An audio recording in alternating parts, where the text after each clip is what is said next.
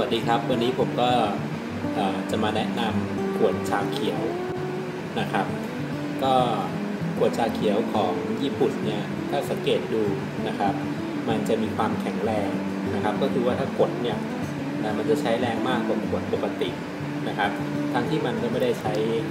วัสดุพลาสติกอะไรที่มากมายเหมือนเดิมนะครับ อีกทั้งนะครับมันจะเย็นถ้าถ้าลองจับดูหรือลองกินใครลองกินดู ไว้นานๆก็จะเย็นเย็นได้นานกว่าปกตินะครับสาเหตุที่มันเป็นเช่นนี้นะครับ ก็เพราะว่ามันอาศัยพวกร่องต่างๆร่องอากาศที่อยู่ในระหว่างพลาสติกตรงนี้นะครับ ฉลากพลาสติกกับตัวขวดเนี่ยเป็นฉนวนกันความร้อนนะครับ เราลองมาแกะดูกันเลยดีกว่านะครับแล้วขนาดนี้อย่างนี้นะครับ อันนี้ก็จะเป็นตัวฉลากพลาสติก นะครับที่ตึงมันก็จะปิดตรงขวดตรงนี้ไว้นะครับ บริเวณนี้ก็จะมีร่องทั้งหมดร่องอากาศ อากาศที่เข้าไปจะไม่เคลื่อนที่มันก็จะเป็นฉนวนที่ทำให้ชาเขียวเย็นนานกว่าปกติ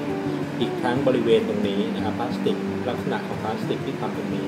จะทำให้ขวดชาเขียวมีความแข็งแรงนะครับ ก็จะซ้อนกันได้เยอะกว่าปกตินะครับวันนี้ก็